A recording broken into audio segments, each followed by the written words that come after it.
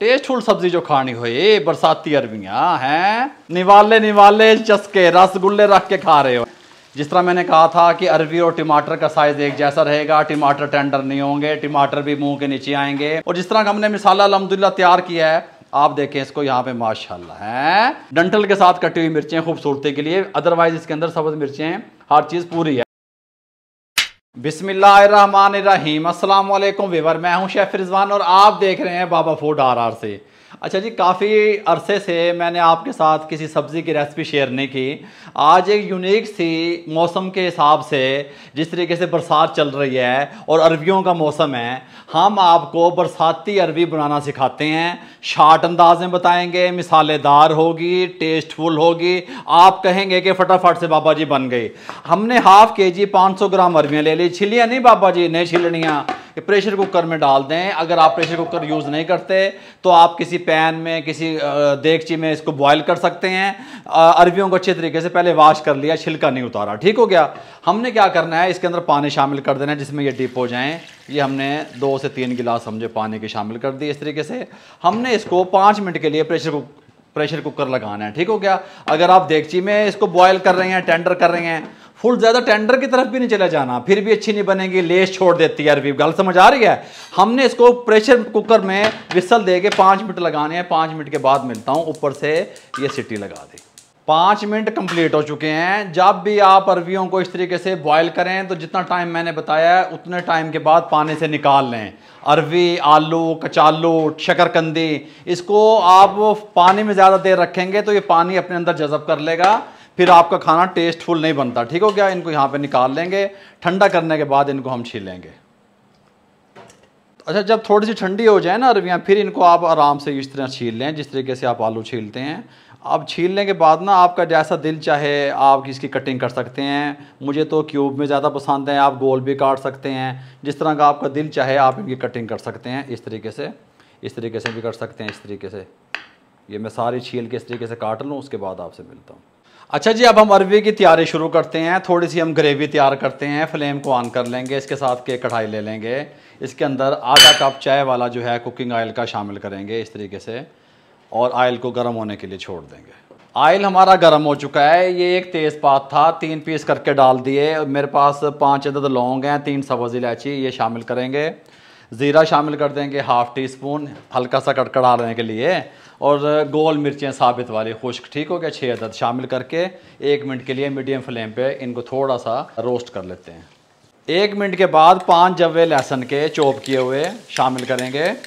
और साथ ही हमारे पास दो प्याज थे दरमियाने साइज़ के। हमने उनको चॉपर में चॉप कर लिया इस तरीके से, ठीक हो गया? ये शामिल कर देंगे। और मीडियम फ्लेम पे हम प्याज को हल्का हल्का ब्राउन करेंगे।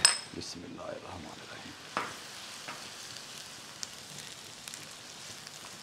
जब तक हमारी प्याज ब्राउन होती है, हमने यहाँ पे एक कप दही का ले लिया। दही को अच्छे तरीके से आप फेंट लें हैंड बिटर की मदद से। इसके अंदर हम कुछ मिसाले शामिल करेंगे। सबसे पहले आमचूर पाउडर जाएगा, हाफ़ टी स्पून ठीक हो गया खटास के लिए। हल्दी one fourth teaspoon red chilli powder इसके अंदर हम शामिल करेंगे हाफ़ टी स्पून अच्छा इसके अंदर ज़ीरा पाउडर शामिल करेंगे हाफ़ टी स्पून अच्छा खुश्क धनिया वन टेबल स्पून। इसको कलर देने के लिए कश्मीरी रेड चिल्ली शामिल करेंगे। ये हाफ़ टी स्पून समझ लें आप इसको, ठीक हो गया? इसको अच्छे तरीके से तमाम चीज़ों को मिक्स कर देंगे। अच्छा जी, प्याज हमारी हल्की हल्की ब्राउन हो चुकी है। बाबा जी तुम नमक नहीं पाया, टमाटर वे चौके नहीं दब दिते, मेरी बात सुने। आप मेरी फैमिली हैं, आपको बताना, समझाना मेरा फ़र्ज़ है। सब कुछ वहाँ, दिखा दे यार, सब कुछ वहाँ तैयार हुआ पड़ा होता है। लेकिन अभी इस टाइम पे नहीं डालना, ना नमक डालना है आपने, ना टमाटर डालने हैं। हमने जो दही के अंदर मिसाले मिक्स किए थे, ये इसके अंदर शामिल करने हैं। बिसमीम फ्लेम को हमने कम कर दिया है और हम कम फ्लेम पर दही का पानी खुश करते हुए तीन से चार मिनट कुक करेंगे।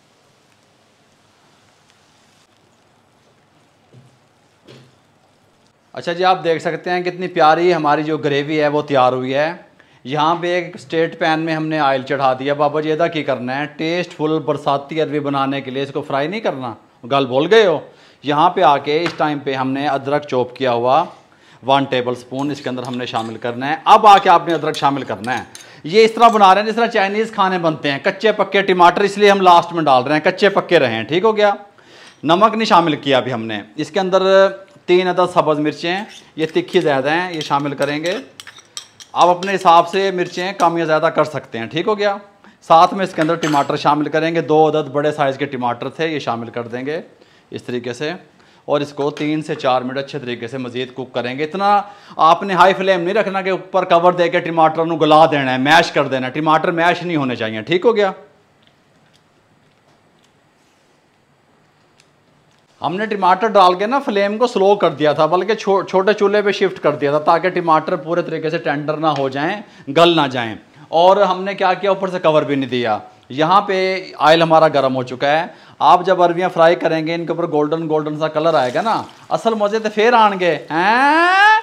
निवाले निवाले चस्के रसगुल्ले रख के खा रहे हो हैं जी? इस तरीके से इसको फ्राई करेंगे।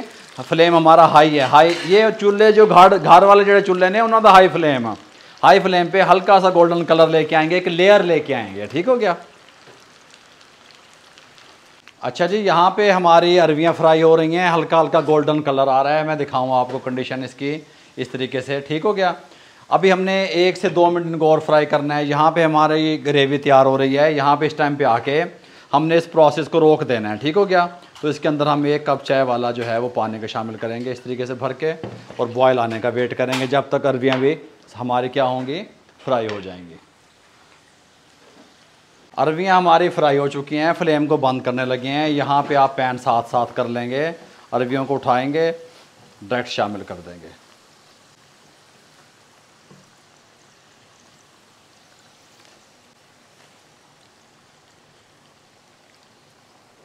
शामिल करने के बाद इसको मिक्स करेंगे, मीडियम फ्लेम रखेंगे। और चार से पाँच मिनट मज़ीद इसको कुक करेंगे। टेस्टफुल सब्ज़ी जो खानी हो ये बरसाती अरबियाँ हैं। इसको यहाँ पे इस तरीके से और इसको यहाँ पे मिक्स कर देंगे। बिस्मिल्लाह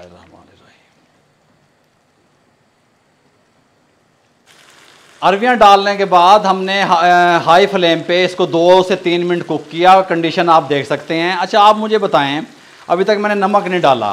आप इसके अंदर नमक इस टाइम पे आके अपने टेस्ट के हिसाब से शामिल कर सकते हैं, जितना आपको ज़रूरत है। मैं वन टीस्पून शामिल कर रहा हूँ इस तरीके से। तो जी, शामिल करने के बाद आपने क्या करना है? इसको इस तरीके से अब नमक डाल के कुक करना है। आप कैसी ग्रेवी पसंद करते हैं, आपने मुझे बताना है। गरम मसाला हाफ़ टी स्पून शामिल करेंगे लास्ट में। पहले करेंगे तो हमारी जो अरवियों का सालन है, वो ब्लैक की तरफ़ चला जाएगा। ठीक हो गया? दो मिनट मज़ीद इसको कुक करेंगे, उसके बाद आपसे मिलते हैं।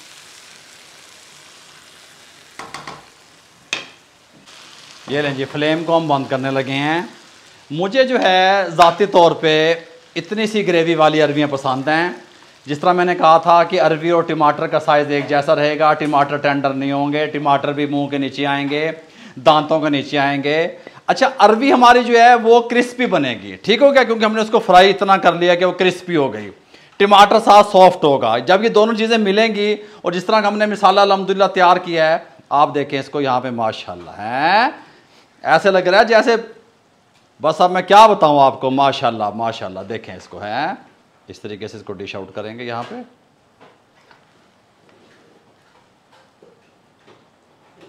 अरबी में जो है, थोड़ा सा ऑयल ज़्यादा हो तो अच्छा लगता है शाइनिंग आती है।